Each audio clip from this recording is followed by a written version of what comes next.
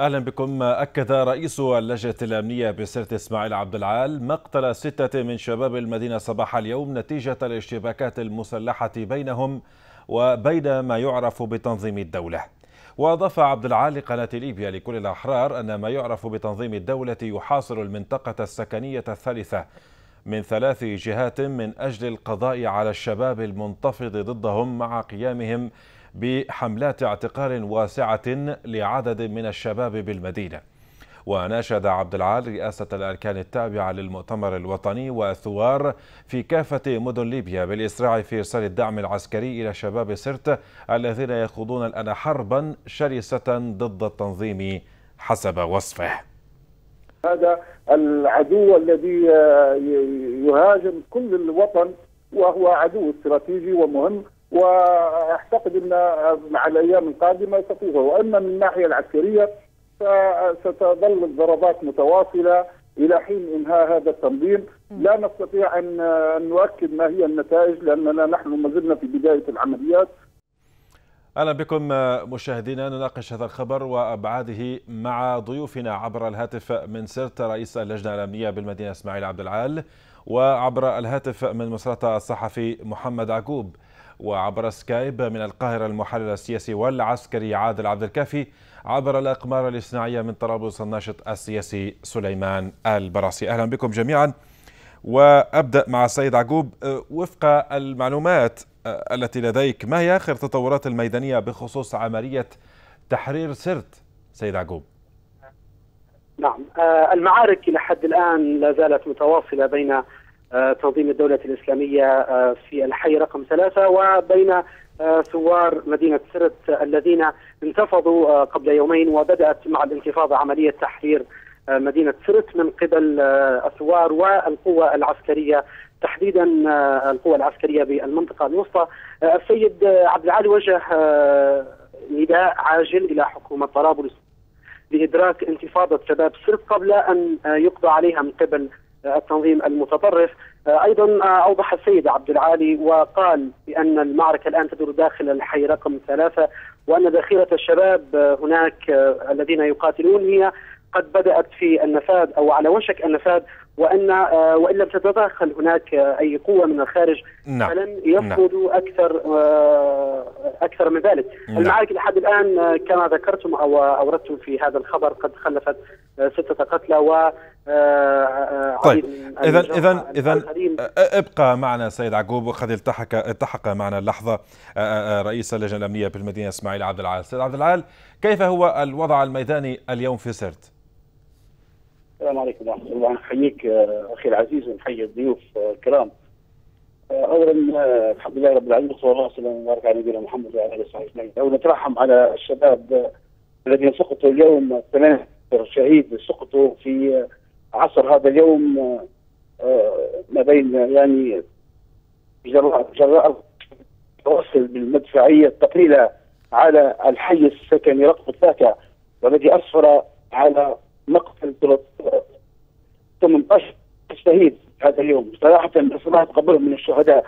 وللأسف الشديد يعني قضاء عن الحكومة وقرار جدا القرار قرار عملية تحليل سرت نعتبر انه بطيء جدا يعني قرار بدون دعم عسكري.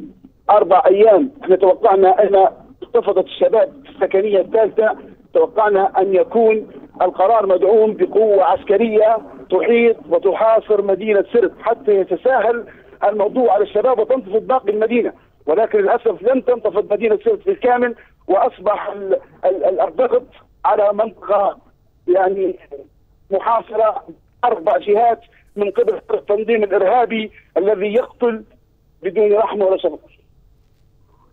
طيب سيد عبد العال حتى حتى نتحصل منك على يعني ما هي ما هي الحصيلة الجديدة؟ هل من حصيلة جديدة لعدد من القتلى والجرحى في صفوف طرفي الصراع الآن؟ سؤال موجه لي أخوي. نعم سيد عبد العال. عودي السؤال ما سمعتهاش معلش لو سمحت ما هي الحصيلة النهائية لعدد القتلى ذكرت 18 قتيلا في صفوف من هؤلاء صفوف شباب سرت شباب السكنية الثالثة بالأخص اليوم عصر هذا اليوم بسبب ال ال بسبب قصف المتواصل من فجر الأمس على منطقة محاصرة من أربع جهات أسفر على يعني مقتل 16 شهيد من شباب المنطقة اليوم. نعم.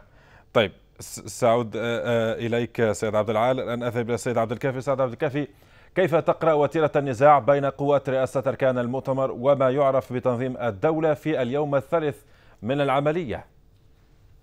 آه، لابد من تقدم لقوات آه، رئاسة الأركان العامة آه، بعد أن يتم دعمها دعم جيد بعناصر قتالية سريعة الحركة بعد تحديد حتى لو أمكن تحديد أماكن وجود المفخخات وقناصة وهذا يأتي من خلال طيران الاستطلاع أيضا من خلال العناصر الاستخباراتية المتواجدة داخل المدينة. لكن عموما هنالك خطا جسيم ارتكب في مدينة سرت وهو آه، إعطاء فرصة وترك هذا آه، آه، التنظيم الإرهابي أن يتمدد ويتواجد في مدينة سرت مما سهل له السيطرة وخلق أعوان وخلق أتباع وغيره. واستقطب حتى من بعض القرى المحيطة لمدينة سرت فهذا كان خطأ حقيقي يعني ارتكب منذ فترة. أيضا الأهالي الآن أمام مرحلة فاصلة في عمر هذه المدينة. أما أن يتخلصوا من هذا التنظيم وينتفضوا عليه أم سيظلوا آه، قابعين تحت رحمة هذا التنظيم ينكل ويعذب ويقطع أرزاقهم ولن تقوم لهم قائمة وستظل السر آه، مصدر الإرهاب أيضا آه، لن يحدث نماء في هذه المدينة. ستظل القوات المحاصرة لهذه المدينة. لن تستطيع أن تتقدم خطوات حاسمة في مدينة سرت نظرا لوجود المدنيين. آه، لأن نحن أشرنا منذ آه، لقائنا السابق بخصوص القصف المكثف. ربما آه، يعني سهل هذا الأمر سواء كان من السلاح الجوي أو من المدفعية ولكن سيخلف الدمار ونحن لا نريد تكرار ما يحدث في بعض المدن وأخطاء الآخرين لأني أثق في حكمة وفي قدرات رئاسة الأركان العامة نعم. في طرابلس نعم. من خلال التخطيط الجيد الذي سيمكنهم من اقتحام هذه المدينة لكن لابد من معاونة الأهالي لأن هذا التنظيم لن يسمح بمرور الأهالي بأمان والخروج خارج المدينة لأنه يستخدمهم كدروع بشرية. نعم، طيب سيد البراسي يعني السيد عبد العال أشار نقطة هو وجود قرار بتحرير آه، مدينة سرت ولكن دون وجود قوة فعلية حقيقية بالأرض كيف تعلق؟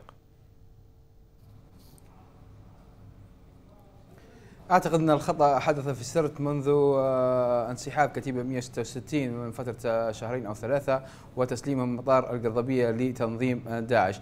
آه، المسؤولية التي المسؤولية الكاملة لما يحدث في سرت الآن تقع على رئاسة أركان حكومة آه، طرابلس أو حكومة الأنقاذ.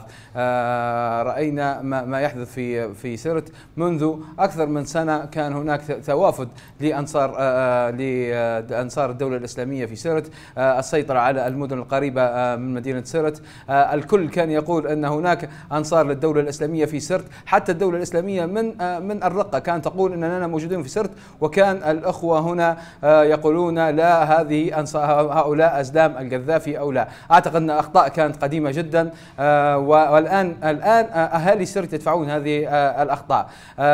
للأسف سرت تعتبر مفرغة من السلاح لعدة أسباب. ليس كمدينة درنا. مدينة درنا يوجد فيها مجلس آه، كتيبة بوسليم المسلحة والتي آه، هذه آه، التي ساعد على ساعدت على طرد داعش من درنا بمساعدة الأهالي لكن في سرت عندنا وضع سيء أو غريب نوعا ما هو عدم وجود السلاح بنفس الكمية عند الأهالي الذين فرغوا من أسلحتهم من المدة الماضية نعم. أعتقد أن المسؤولية الأخلاقية والأدبية تقع نعم. على حكومة الأنقاذ في طرابلس يجب الإمداد يجب التنسيق حتى مع آه، رئاسة الأركان في آه، في حكومة الثني آه، لوضع حل سريع لمدينة سرت الذي تعتبر منطقة حيوية في ليبيا حيث هي مفترق للطرق بين الشرق والغرب وجنوب وإلى وبوابة إلى الحقول النفطية. نعم، طيب سيد عبد العال أعود إليك ما هي آخر تطورات بالمنطقة السكنية الثالثة الآن؟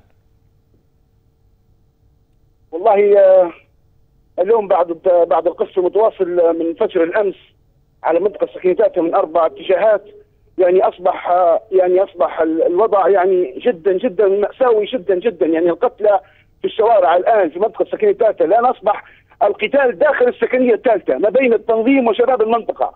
يعني نحييهم الشباب إلى حد هذه اللحظة وهم قاعدين يدافعون على المنطقة السكنية الثالثة. بالذات أنا أنا أركز على السكنية الثالثة لأن القتال الآن في المنطقة السكنية الثالثة ليس في منطقة الطويله ولا ليس في منطقة كذا واحد سامعة ولا في وقدوغو الآن التنظيم على مشارف يعني داخل المنطقة السكنية الثالثة وللأسف الشديد يعني الشباب يعني بدون لا عسكري ولا لوجستي ابدا يعني ما فيش نعم. أي حاجة بكرة لحد الآن طيب بحكم وجودكم في على الميدان هل تلمسون تراجعا للتنظيم في سرت بشكل عام؟ تراجع من التنظيم يعني؟ نعم.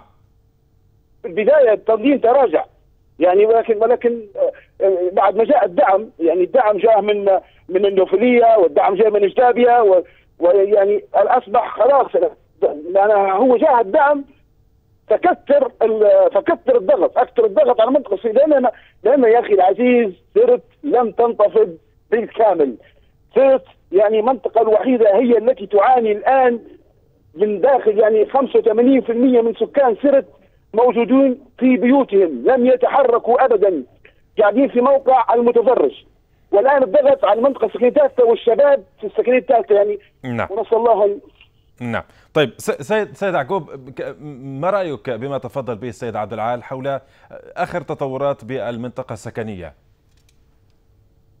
نعم بالتأكيد هي المعركة إلى حد الآن هي تدور داخل الحي رقم ثلاثة وأيضا آه، هناك الحي رقم واحد والحي رقم اثنان المجاورين للحي رقم ثلاثة يعانون أيضا من قلة وجود الغذاء والدواء وأيضا هناك أزمة إنسانية ربما على وشك أن تحدث آه، لو لم آه، يكن هناك دعم ودعم حقيقي أنا أقصد هنا للشباب الذين يقاتلون آه، يعني فلول التنظيم تحديدا في الحي رقم ثلاثة.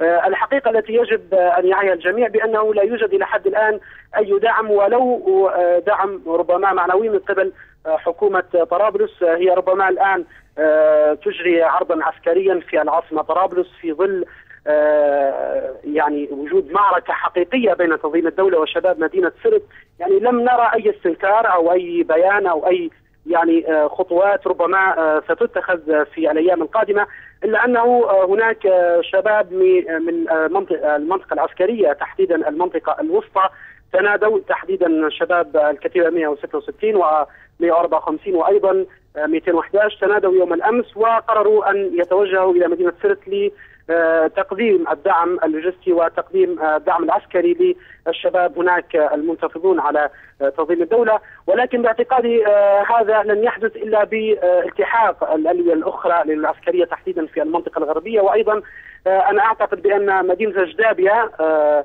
شرق مدينة سرت باعتقادي أنه توجد بها قوة عسكرية. ربما ستحسم المعركة هناك يعني بشكل آه، يعني عاجل نعم. ربما لو نعم. تدخلت هذه القوة نعم. وأيضا نعم. القوات الأخرى المتواجدة في آه، المدن المجاورة لمدينة سن. نعم. أستاذ عبد الكافي كيف يمكن قراءة المواجهات بين مقاتلي التنظيم شباب المدينة؟ هل معناه أن التنظيم بدأ يفقد الحاضنة الشعبية هنا؟ بداية سيدي التنظيم طبعا إجابة على سؤالك التنظيم لم يفقد الحاضنة الاجتماعية على العكس هنالك آه، حاضنة اجتماعية. هنالك تعاون مع هذا التنظيم من داخل مدينة سرت وسبق أن أشار عدة ضيوف على قناتكم الكريمة لكن أريد أن أعرج على نقاط ذكرها أحد ضيوفك آه، بخصوص الكتيبة 166 في السابق.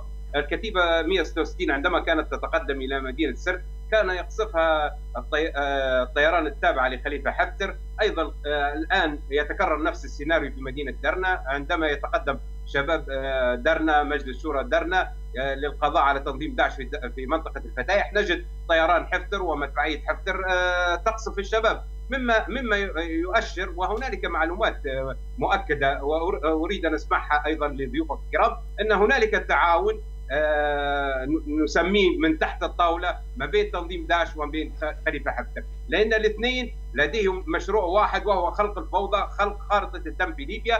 هنالك هنالك عدم يعني أجندة لعدم استقرار ليبيا أيضا. هنالك نقطة أخرى أشار إليها أحد ضيوفك بخصوص التنظيم وهنالك من تكلم بالسابق أن هذا التنظيم سكتوا على هذا التنظيم إلى أن تمادوا واستمرأ في ليبيا. هذا التنظيم تعاون مع أنصار النظام السابق. هذا معلومات نحن نتحدث من خلال معلومات مؤكدة.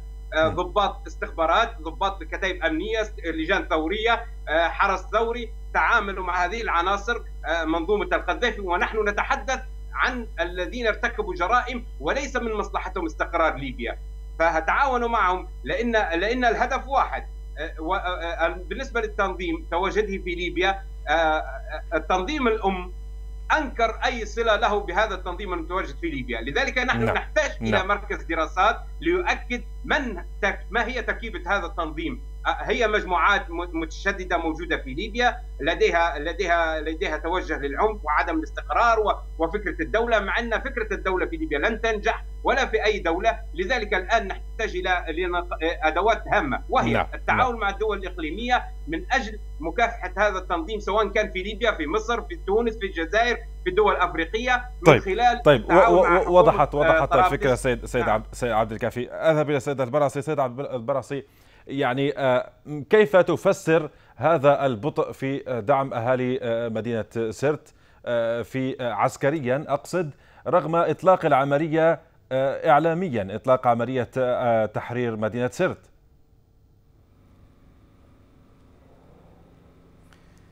آه، التأخر ليس من مناصرة أهالي مدينة سرت اليوم فقط. التأخر من منذ أشهر منذ السماح آه، بوقوع مدينة سرت في يد تنظيم داعش من حوالي شهرين أو ثلاثة. هذا هو التأخر. لا توجد خطة حقيقية آه، لمجلسي الأركان سواء كان في البيضة أو في طرابلس لوضع خط التحرير سواء كان درنا أو أو سرت. هنا المناكفات السياسية هي المتحكمة في في المشهد العسكري الليبي.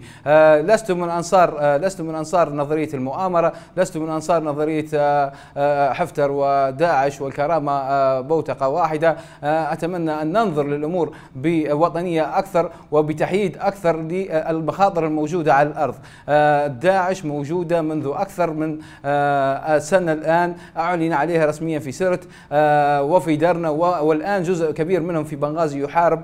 هذا كله سيؤدي إلى صراع متفاقم ولن ولن يحل هذا الصراع إذا آه، آه، آه، قام كل طرف برمي الاتهامات للطرف الآخر بدون مساعدة الأهالي في سواء كان مدينة درنا أو مدينة نعم. نعم. سرت الحل الحل هو مساعدة المساعدة إلى العسكرية العاجلة وخاصة من المنطقة الغربية اللي قربها مدينة سرت قطع خطوط الاتصال من المنطقة من جنوب مدينة سرت بوهادي ومن شرق مدينة سرت من عند النوفليين كل هذه هي يؤدي إلى آه، حصار آه، داعش في سرت داعش نعم. ليست بالأعداد نعم. الكبيرة في سرت ولكن استعمال استعمال العنف واستعمال التهويل والترويع هو من وعدم وجود أسلحة نعم. آه،. هي المدينة الوحيدة في سرت وضحت الفكرة سيد, سيد البراسي عكس المدن الليبيه وضحت الفكرة سيد البراسي ودعني أنتقل إلى السيد عبد العال ما دقه الأنباء سيد عبد العال التي تتحدث عن دخول طيران عملية الكرامة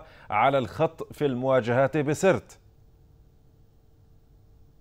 والله يا أخي فاضل الطيران آه، كان مكثف في الأيام الماضية اليومين الماضيين. وما نعلمش إن كان هذا طيران رئاسة تركان أو طيران عندنا إحنا لما نعطي حديثيات كيف نتعامل مع طيار رئاسة تركان تابع الموطن الوطني. ولكن ما نعلمش إن هذه الطيارة تابعة لحفتر أو تابعة لرئاسه الله أعلم ما نعلمهاش ما نقدرش نحدد لك بالضبط يعني. ولكن في السابق في السابق وبادله آه، يعني إن طيران حفتر كان يقصف في الكتيبة 166 عند تواجدها في في مشروع خزان النهر وهذا بالدليل وأنا ممكن اوفيكم حتى بالفيديو يثبت هذا يعني. لكن طيران فجريبي عندما كان يقصف في طاعش وقدوغو وكان يقصف في في تمركزات التنظيم داخل سيرة قبل شهور يعني كان طيران حفتر يقصف في في شباب الكتيبه 166 وفي ضواحي الكتيبة يعني.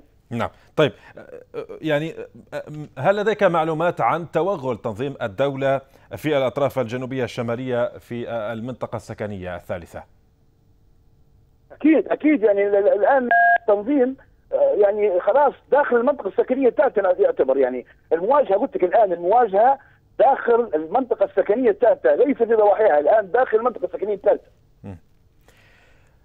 رئيس اللجنة الأمنية بالمدينة إسماعيل عبد العال شكرا جزيلا لك سيد عقوب كيف تصف الوضع الإنساني بسرت في ظل كل هذه الاشتباكات الأخيرة؟ الوضع الإنساني كما ذكرت في في آه، قبل قليل بأنه الآن على وشك آه، أن تكون هناك كارثة إنسانية ربما تحدث في مدينة سرت نتيجة محاصرة آه، تنظيم داعش لبعض الأحياء السكنية تحديدا الحي رقم اثنان المجاور للحي رقم ثلاثة والحي رقم واحد بحسب مصادر هناك من مدينة سرت ومصادر من سكان المنطقة أنفسهم.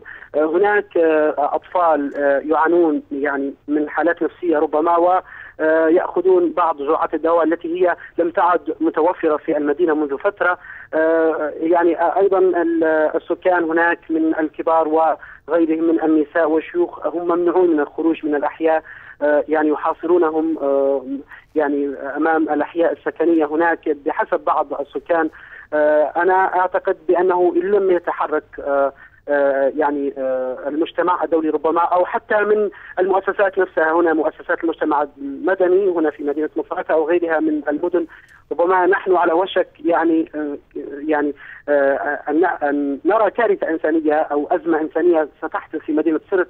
وأيضا لو طالت المعركة في ظل عدم وجود الامكانيات وأيضا كما أشار السيد عبد العالي بأن ذخيرة الشباب هناك الذين يقاتلون التنظيم هي على وشك النفاذ ولن يصمدوا أكثر من ذلك وأن سلاح الطيران هو لم يعد ذات فعالية آه، بعد أن أصبحت حرب شوارع الآن.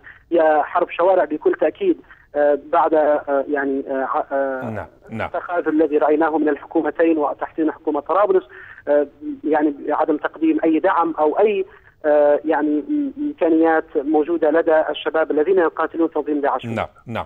طيب سيد عبد الكافي كما استمعت إلى السيد عبد العال تحدث عن أو أكد بالأحرى عن توغل آه، يعني تنظيم الدولة في الأطراف الجنوبية الشمالية في المنطقة السكنية الثالثة وأيضا أكد أنه الآن حتى أن التنظيم داخل هذه المنطقة الآن يعني آه، كيف تعلق على هذا على هذه النقطة بالذات وكيف ولماذا أو هل بالإمكان أن آه، آه، يعني رئاسة الأركان تستغل هذه النقطة ويعني تدعم هؤلاء الشباب حتى يبدأ الهجوم خارجيا وداخليا؟ سيدي الفاضل طبعا أحيي ضيوفك الكرام وخاصة السيد إسماعيل عبد العال بخصوص أن أشاد ب وذكر طيران حفتر قصف الكتيبة 166 ومنع وهذه من ضمن الأخطاء الكارثية آه، التي ارتكبها آه، هذا الطيار أو أو أو ذاك بخصوص بخصوص أن سمح لهذا التنظيم بأن يتمدد. حتى لو إن كان أعطيت لها الأوامر لكن نحن نعلم أن الطيارين تعطى لهم إحداثيات فيتصرف بناء على هذه المعلومات. لكن بالنسبة للدعم آه، أو التقدم هنالك السيد العقيد علي الشيخي يوم أمس تحدث وأكد إن في خلال ثلاث أيام بإذن الله هنالك آه، آه، قوات ستتقدم ويتم دعم القوات المتواجدة حول مدينة سرت. لأن لأن يا سيدي لا نريد تكرار سيناريو الإجرام الذي ارتكب في مدينة بنغازي. لأن حماية المدنيين لا تقل أهمية عن مكافحة الإرهاب. آه، لذا وهذا التنظيم لن يترك فرصة للمدنيين للخروج من المدينة. سيظل يستغلهم كدروع بشرية. أيضا على الخيار الآن والحل الوحيد أمام أهالي مدينة سرت أما أن ينتفضوا أو لا ينتفضوا. أيضا آه، هنالك آه، أحد ضيوفك أشار إن مدينة سرت خالية من الأسلحة. آه، أحب أن أؤكد لضيفك إن مدينة سرت ليست خالية من الأسلحة. لدى المواطنين هنالك نحن نعلم نعم. نعم. ما ما ما يحدث في مدينة سرت أيضا آه، بخصوص رئاسه الأركان العامة آه، للتقدم بقوات على الأرض آه، نحن تحتاج إلى خطط استراتيجية لا تكون خطط تكتيكية كالتي ارتكبها خليفة طيب. حفتر في بنغازي طيب. اذا اذا اذا سيد, عبد, عبد الكافي وضحت فكرتك دعني أختم مع السيد البرعصي هل تعتقد أن السلطات في شرق البلاد قد تمد بدورها يد العون لمساعده اهالي سرت في معاناتهم الحالية؟ أعتقد لو في هناك توجه استراتيجي وتفكير استراتيجي آه، يجب عليهم دعم مدينة سرت. آه، القضاء على داعش في سرت سيساعد على القضاء في داعش في درنا وعلى داعش في بنغازي. أعتقد وهو هو واجب وطني وعليهم طيب طيب هذا هذا واجب وطني ولكن حسب حسب المؤشرات سيد سيد البرعصي حسب المؤشرات هل تبعت ذلك أم لا؟ حسب المؤشرات نعم. يوم أمس طيران طيران رئاسة الأركان في آه، آه، لحكومة ثني قام بقصف آه، بعض تمركزات لداعش في سرت ولكن أتفق مع السيد عبد العال الذي قال أن الضربات الجوية فقط وحدها لا تنفع لن تجدي. الآن الحل هو الوضع العسكري على الأرض. لا أعتقد انه سيكون هناك كتائب من المنطقة الشرقية تكون قادرة على القدوم إلى إلى سرت ولكن يمكن قطع الامتداد في مدينة جدابيا والنفوليين والمنطقة الشرقية من مدينة سرت. نعم. ولكن الالتزام الأدبي والأخلاقي أعتقد يقع على آه، عاتق حكومة آه، طرابلس نعم. أكثر من المنطقة الشرقية. نعم شكرا جزيلا لك. وبهذا نصل إلى ختام حلقة اليوم من خبر وبعد. نشكر كل ضيوفنا كان معنا عبر الهاتف من سرت. رئيس اللجنة الأمنية بالمدينة إسماعيل عبد العال وعبر الهاتف من مصراتة الصحفي محمد عقوب عبر سكايب من القاهرة المحلل السياسي والعسكري عادل عبد الكافي عبر الأقمار الاصطناعية من طرابلس الناشط السياسي سليمان البرعصي تقبلوا تحياتي في أمان الله.